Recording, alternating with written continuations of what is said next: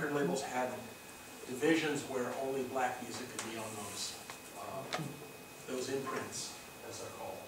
And they were called race records. And not until um, the late 1940s, uh, Jerry Wexler uh, was- had started working for the newly formed Atlantic Records, and he didn't like that term. He thought it was racist. And so uh, he uh, said, you know, this sounds like blues, and this sounds, and it's got a beat to it, so let's call it rhythm and blues, and the term stuck. We still use that, that term today. All right, so here we are, we're in the 50s. Now, one of the biggest things that's happening in the 50s is what, you know, we're here, here's the US, and there's all this music being created. Black music is mostly, uh, is, is pretty much not allowed on white radio stations. Uh, It was a very different time. But across the Atlantic Ocean, there's another place, the UK. And who's over there listening? They don't have the same uh, uh, constraints to listening to black music. And those are those white British kids that grew up, who were born in World War II. Those are the Rolling Stones, those are the Beatles. Those are the artists that came over in the, in the uh, British invasion, as it's called, in 1964. Um, In the 60s were terrible times. They were turbulent, you know.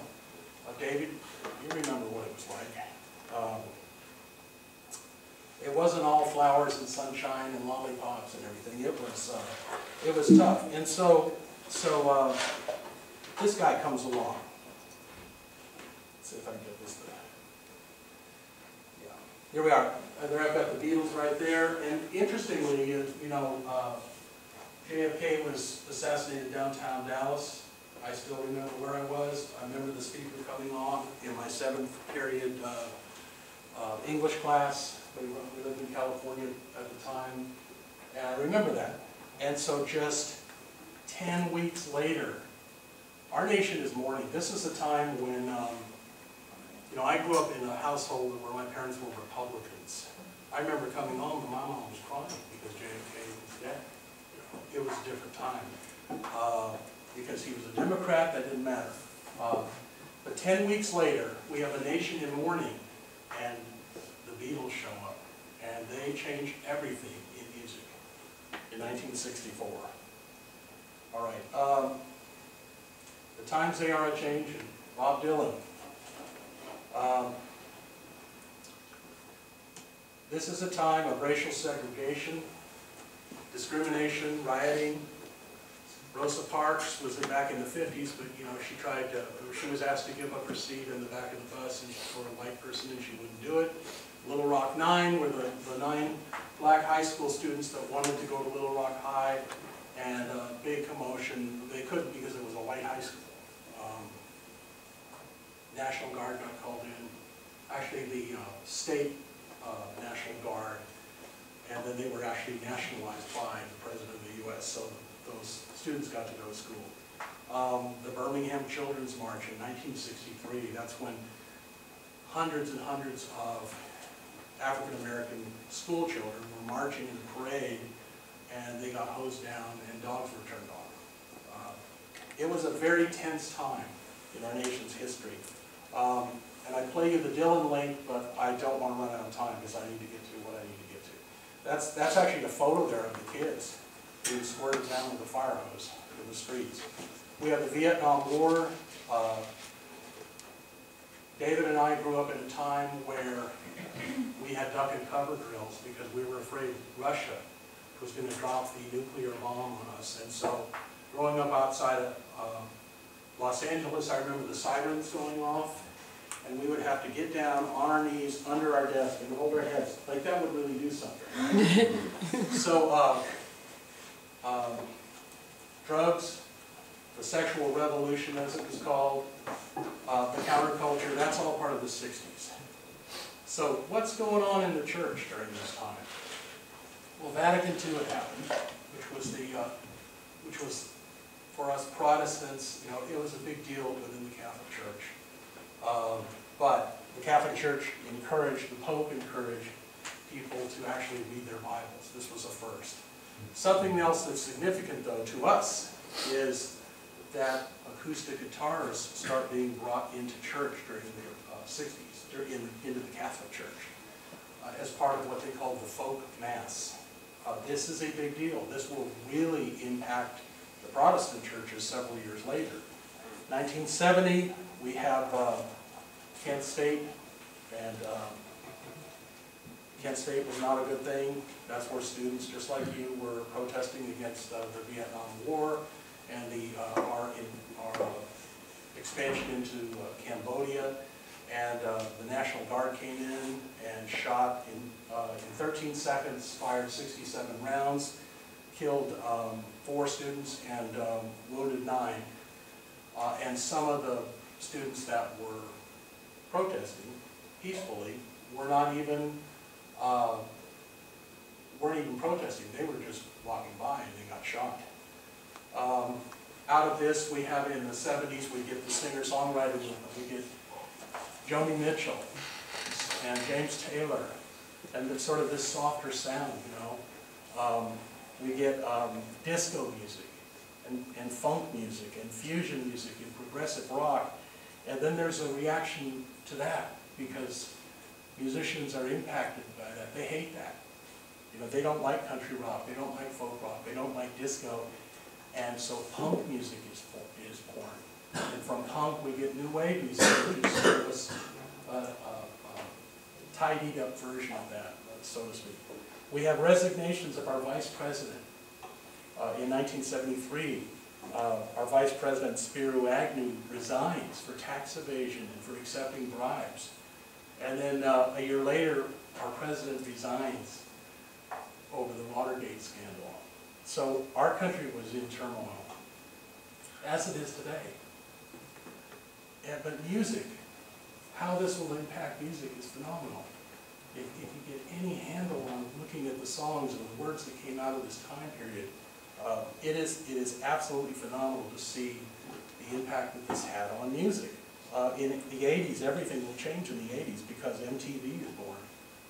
And, um, that's the start of the video generation. That's when you had to look good to get a, a record deal, um, or look strange, but there's kind of no in between.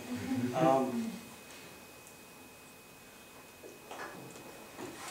Early nineties, we have the advent of digital music, which changes everything for all of us. Because there have been many format changes over the years, you know, we had gone from cylinder discs to flat record discs, um, to, you know, we'd gone through cassettes, we'd gone through CDs, or we were coming into CDs. But then when music was digitized, the next thing that happened was the delivery system was digitized. And that's what changed everything, because then we start downloads, whether they were illegal or illegal. It changes the model for doing business. And now what do we have? We have a generation or uh, evolution uh, to people not really buying music, but they want access to it. They don't want to own it, they want access to it. They want to pay, like I love Netflix. I love to pay nine bucks a month and watch any movie I want. It's the same thing with music, you know, but you don't even have to pay. If you're willing to listen to the commercials as you go, you know, you can listen to anything for free on uh, Spotify or YouTube. You don't even have to deal with that. All right, so the Jesus movement. We're, we're, we worked up the late sixties here for the Jesus movement. And it's really a reaction in a lot of ways to the disillusionment and madness of the sixties, both in society and in, um, and in church. So, um, here's a painting uh, of Jesus with some musicians here, uh, done by Rick Griffin. And if you do any, uh, I had the pleasure of working with Rick when I was an art director. And uh, Rick Griffin was um, one of the five great San Francisco poster artists during the Haight-Ashbury era. So it's lots of LSD, lots of dope, and, but he was an amazing painter and he found Christ. And so he, here he is, he had painted Jesus with the musicians on the beach here. Uh, the, the Jesus movement starts in the mid to late 60s. Some people say, um, um, some historians say it started in Southern California, some historians say it started in San Francisco. I don't know. I was in Orange County, and you know, to me, that's where it started, but I don't know if that's true. I wanted to go over three separate recordings with you that were milestones in setting up what we now know as contemporary Christian music. Right, first one, 1971. This is called the Everlasting Living Jesus Music Concert. This is the this is the album cover. There's a little line at the side. You can kind of square that off and, and get the idea of what that was. Um, I'll do a little clip of this. This was a compilation of artists that had just discovered Christ in 1971 or 70. I was brought up in a middle-class family, you know, like most of us were, I would imagine. I'm going to go My ahead. parents, they worked and they slaved, you know, to put give me through college. what it was like To give me clothes days. and to give me cars and and all the things in life that, that the truth and the life. If you're on his side, you're on the right side of the truth. This is the church, Calvary Chapel. So bear in mind, guitars and drums, drums weren't even allowed in those churches at this time. This church was an exception.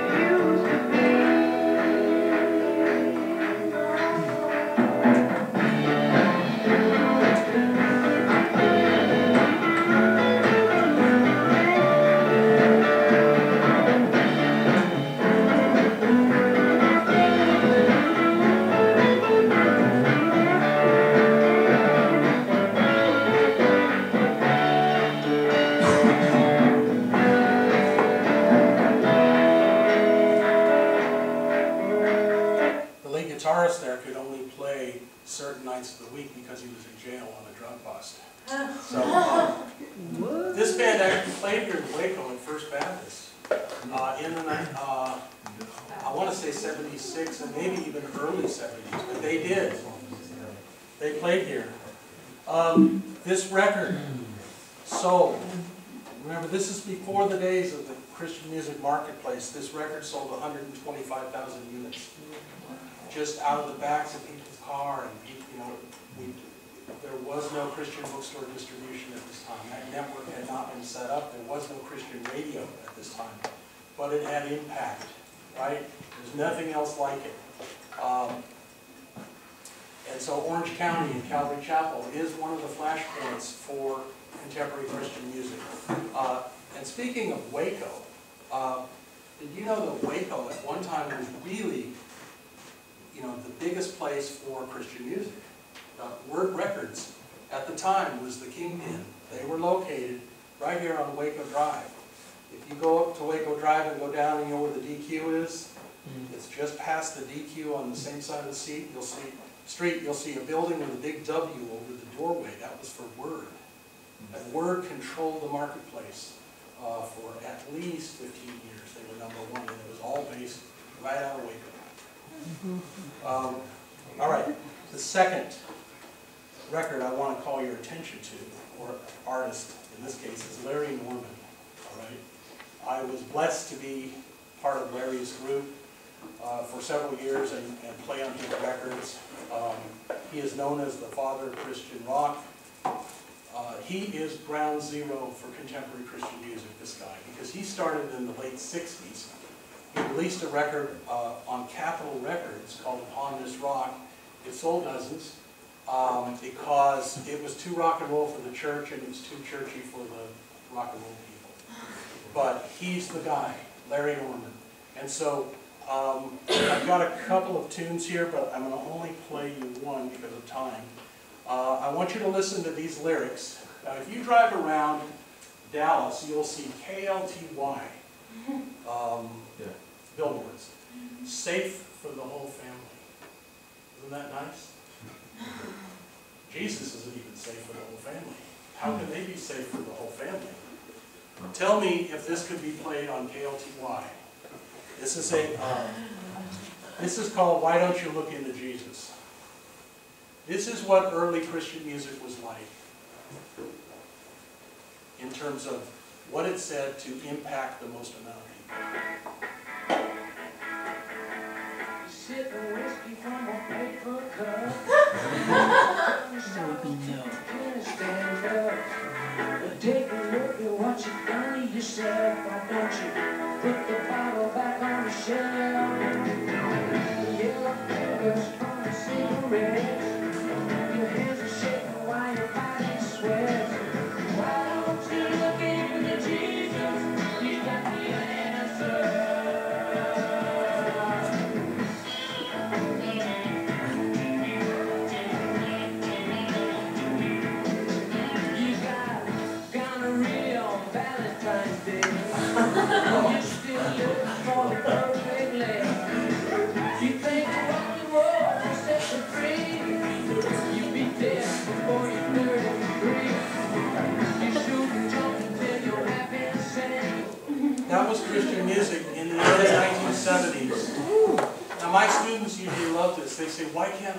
This? This. Is radical stuff. And so the message back then was uh, much more evangelistic.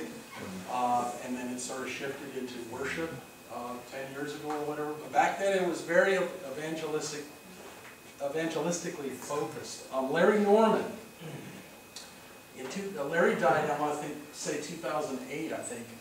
Um, but um, Larry Norman's, uh, in 2013, the Library of Congress added the work of Christian rock innovator Larry Norman to the National Recording Register, an elite collection of recordings marked for special preservation as cultural, artistic, or historical treasures. Only 25 recording projects are admitted every year, and and Norman is the first Christian rock artist um, from his groundbreaking 1972 folk rock album, Only Visiting This Planet, which that song was from, that I just played you. Uh, Number two, or actually, uh, yeah, number two is Andraé Crouch.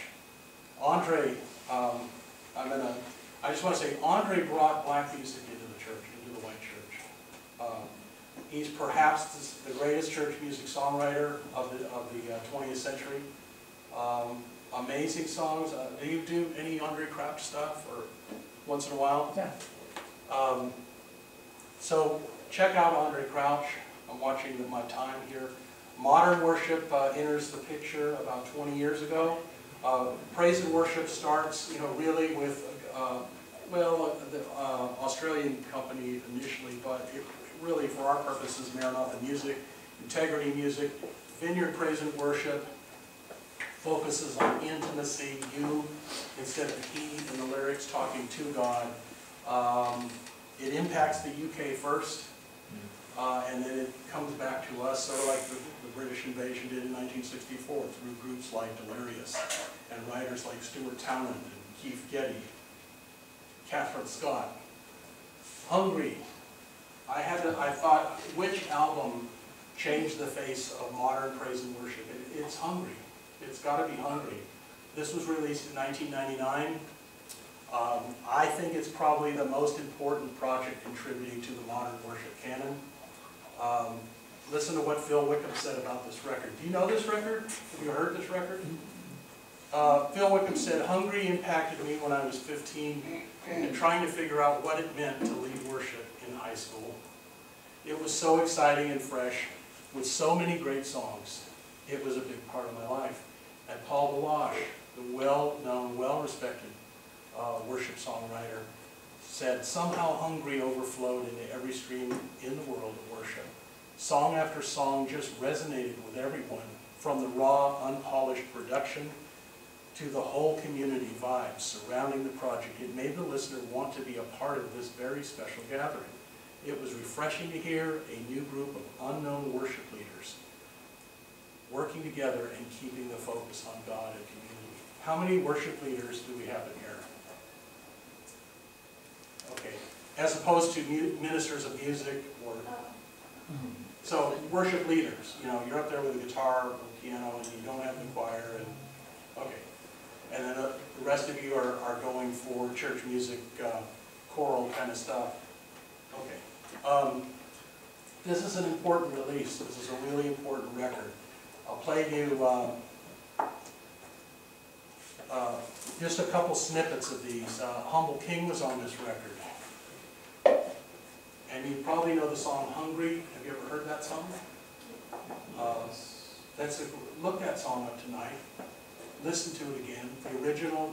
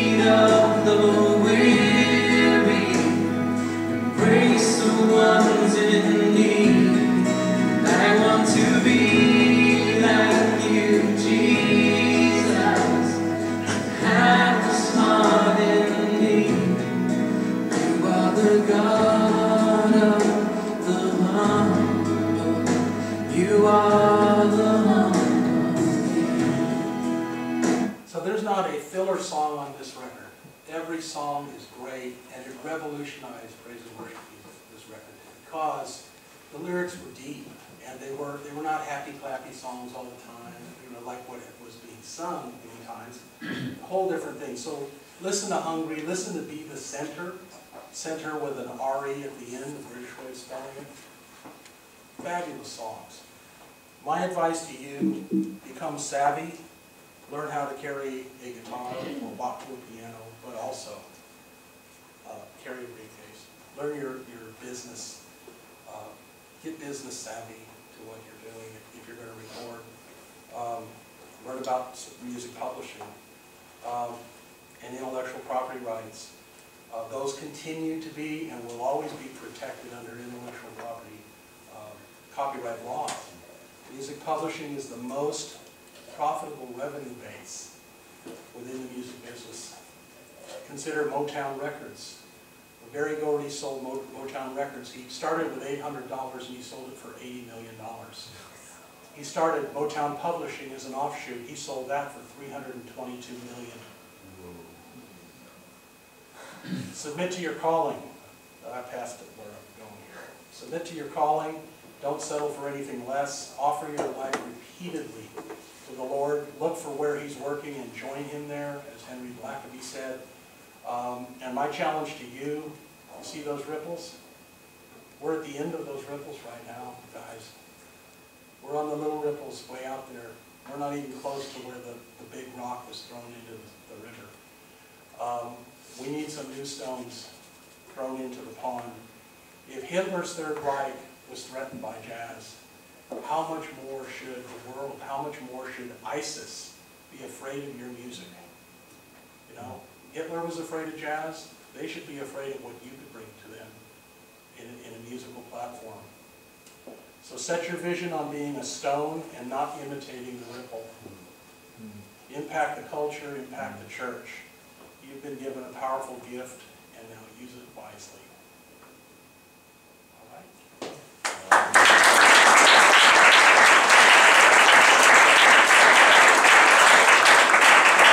You got Any questions at all from the Jesus movement time period, or anything, any thoughts, or, yep, So you said that one of these famous bands came to Waco at a yeah. Very early point. Love Why South. Waco? Was it the word? I don't know, no, it was before those days. Wow. Uh, I, it was, this was in the seventies, Word would have been, because Word started in the, uh, early nineteen fifties by Jarrell McCracken, and he was a DJ here in town, and he started Word Records, but, you know, there were no bands like that on Word Records, you know, they had, uh, you know, uh, Burl Ives and, uh, uh, Gospel go- artists. gospel artists and inspirational artists, but they, they didn't have any bands like that, was radical, but the band came here and played at First Baptist, yeah. I've seen pictures of that. Anybody else? Okay. Thank you, we appreciate it, and if, I'm sure you'd be glad to hang around for a couple of moments if you would like to speak individually, so. Our next, uh, church music forum is the North Cut Lecture, and, and keep your eyes and ears open for that. It'll be on a different day of the week this year, normally we have it on Tuesdays, but this year it's gonna be on Thursday. And so check the syllabus, uh, for that. Okay?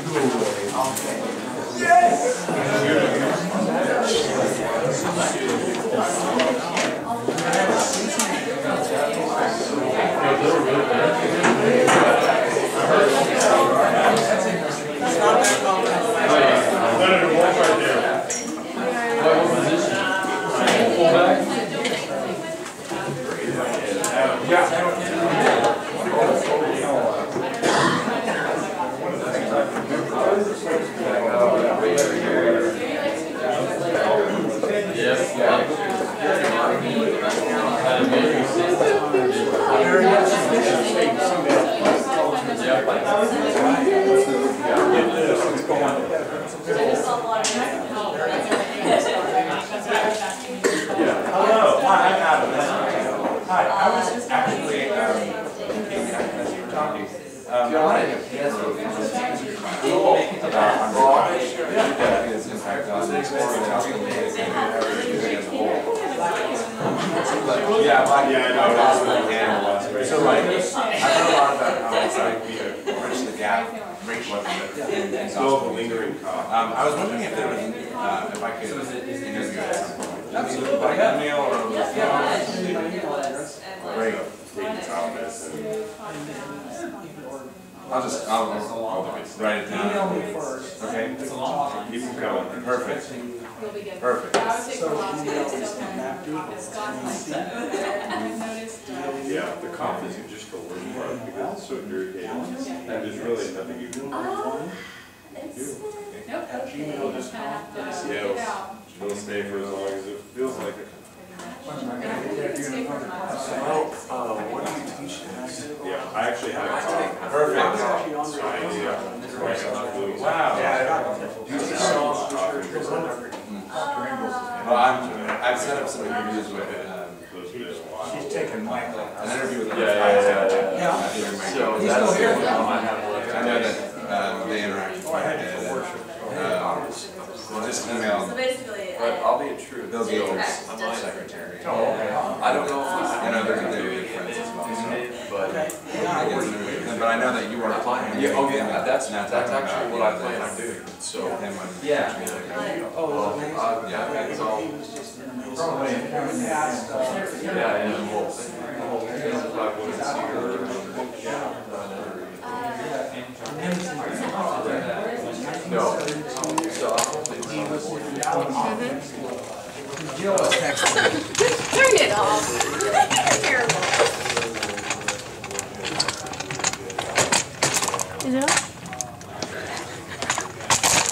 it's off.